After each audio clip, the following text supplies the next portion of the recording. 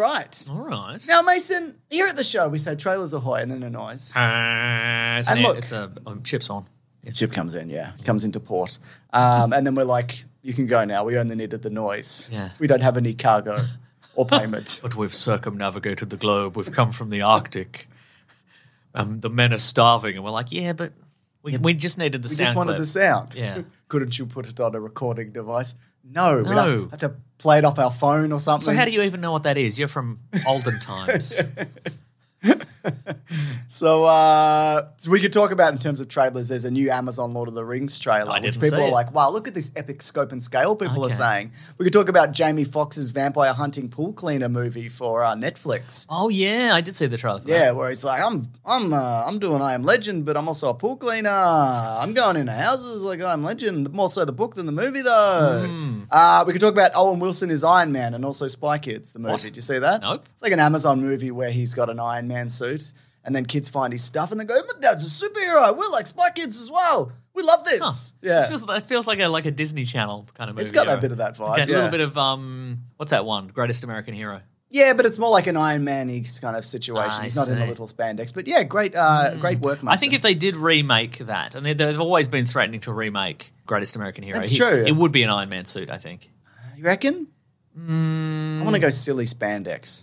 Uh yeah, but I reckon they. I don't think they would be willing to commit. I think absolute best case scenario, they would do like modern day Man of Steel Superman suit. Like it'd be the Oh, okay. textured Yeah, robbery you're right. kind of suit. But what if you got like a dude like they did back in the day? No disrespect to this guy, but here I go. You get like a man with like a concave chest and put him in and put him in a suit like Thighs that. rubbing together. yeah, that's Yeah. right. You know, Constantly wearing through the thighs Yeah, of the suit. something yeah. like that, you yeah, know? uh, yeah, but I don't think they would. I don't think they. I don't think they, they'd willing. I mean, it was a comedy though. I know, right? but I'm not sure they would be willing to commit to superhero fans tuning in week in week out to look at you know a man that looks like us. Quite frankly, Do you think people would be like, "When is he getting the suit?" And they'd Yeah. be like, "Never."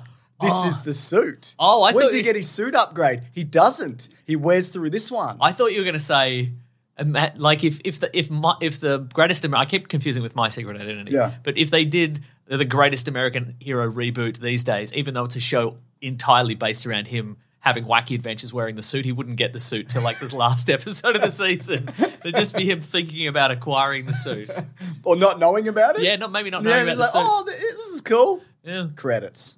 See you next se- season. Cancelled. It's also yeah. Anyways, but of course, what we're really going to talk about is Rob Zombie's new movie, The Munsters, Hmm. which is a reboot uh, of, I assume, um, I can't tell really, of the Yeah. of the '60s series. Yeah, 50. se- I honestly don't know. Yeah. We should have done some research, but I guess there seems to be uh, a significant enough overlap between metal fan, metal fans and horror fans. That Yep. makes sense. Mm-hmm, But then also via that, there's been some sort of bleed through. I guess because you you like horror movies, and then the Munsters is kind of a loving homage to those. And Yeah. so if you're all, you're a metal fan, you also love the Munsters, and Rob Zombie loves the Munsters. Love the and he's gone. There's enough in this for uh, for a movie in the year 2022. I mean, people are like, "This looks terrible. Everything about this looks terrible. It Go looks on. cheap and weird and like flatly lit." And I don't Yeah. understand why you've done this. Uh huh. This is entirely intentional. I think so, yes. Like because he's made movies that look That don't look like this, yes. Yes. I like it in the, up the top how he's like Rob Zombie, the, you know, the director of Halloween. Which one? Not not the no the one in the middle that everybody forgot about. Not the one. Not the not the heritage one. The 2007 yeah, reboot. yeah, yeah. Not the Jamie Lee Curtis one. I haven't, I haven't actually seen his. Unless she's in that version. No. Okay, right. Yeah. So it should be from the director of none of the Jamie Lee Curtis Halloween. Sorry. Tyler Mane is uh, Jason though. okay. That's interesting. I mean, you say Jason. the other guy. Yeah, you know what I mean. you do the Jason type. Yeah, you think Yeah. name because it's 2007. He's called Yeah. Mickey. He's like Mickey. Mickey. Ah, Mickey. the, um, what are you doing, Mickey? Okay, in the you know in the audition they're like, we want a Jason type. Yeah. And then Jason auditions and he doesn't get it. like, damn it. Uh, they made a sequel to that as well, but again, I haven't seen it. Uh, Oh, Malcolm McDowell is Loomis. That's that's good casting. Agreed. Yeah. Anyway, I haven't seen it, but it, so yeah. So Do you, what is the Munsters? Do you want to explain to people like what it is? Not really. I don't know. I don't think I understand. It's the Addams family, but they're Yes. like a collection of classic horror movie monsters yes. that live together in Who some. came first? This, the Addams family came first. I was going right? to ask you because I thought you knew that, but I don't know I think necessary. maybe the, the- there was an Addams Family comic strip before there was an Addams Family TV series. Okay, right. But Addams Family is the one I think that people remember more because it had the movies.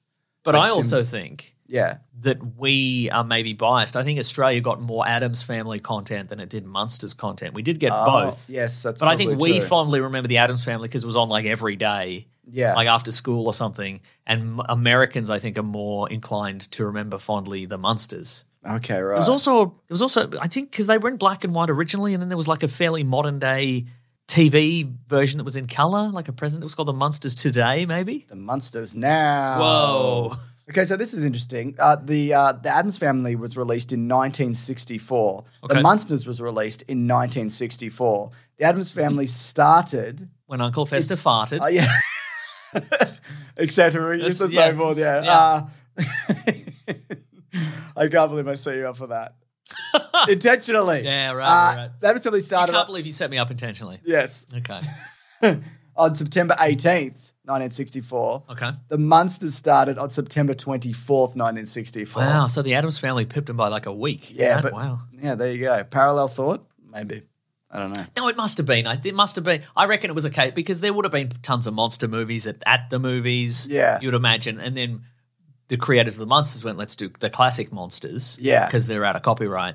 And I imagine the creators of the Addams family went, oh, well, we, there's this Addams family thing. Yes. You could do that as a little little twist on the genre. It also seems as if yeah, the Munsters started in 1943 as a series of cartoons. So The you go. Munsters did. Anyway, why are we talking The Munsters did or the, Addams family? The Munsters. When did the Uh, Addams family start? I think when the series started, I believe. Oh, I feel like there were like maybe even single panel comics of the, right. Of the Addams family. I'll quickly look it up. I didn't see. But I like the Addams family more, if I may. I was yeah, me too. Uh, actually, yeah. So no, they started in 1938 as a as a comic book uh, in the New Yorker. So yeah, you are absolutely right. Wow. Yeah, I don't know. I just think like it, it's. I think like Morticia and Gomez are more. Hmm. I, I feel like they're more. They're a more interesting couple. Yeah, I agree. know? Then whoever the couple is in the other one. It's um Herman, who's a Frankenstein, Yep. and Lily, who's a vampire Elvira type vampire With lady. big lightning yeah, hair? I think Lady so. Lady Frankenstein. Maybe she's a lady Frankenstein. That's great. Anyways, I won't watch this. But anyway, I just- Well, I absolutely yeah. not. Let's talk about No. something else. Is there anybody famous in it? Is the is the Herman Munster some somebody? Who knows, Maso? Maybe we should have researched this thing we don't care about. That's very. God, I Why start now? Oh, you're right. Well, I, I do research. I've researched. no, I know you do. I just didn't think we'd get stuck on this for so long. I thought we'd go, ha, this looks bad. Why did he do this? Next. Anyways, Maso. Why did he do it though? I don't know. I don't know. I think he just loves the Munsters. I think that's yeah, I Yeah. guess he does. yeah. And now he's, he's in a position where he can do his own version. I of the think if he had have done, I think it, if, if it was black and white, people would have a different opinion of it Yeah. because it wouldn't look so like garish and flat. I mean, it wouldn't it wouldn't shock me at all though if.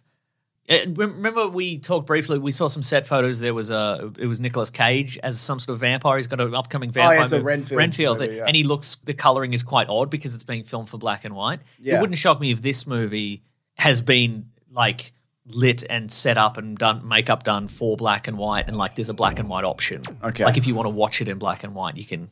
you can yell switch at, it. Yell Switch- at your projectionist. Yes, yell at projectionist. We want to watch the black and white one. is anybody in there, or is that like this is all digital now? Who am I talking to?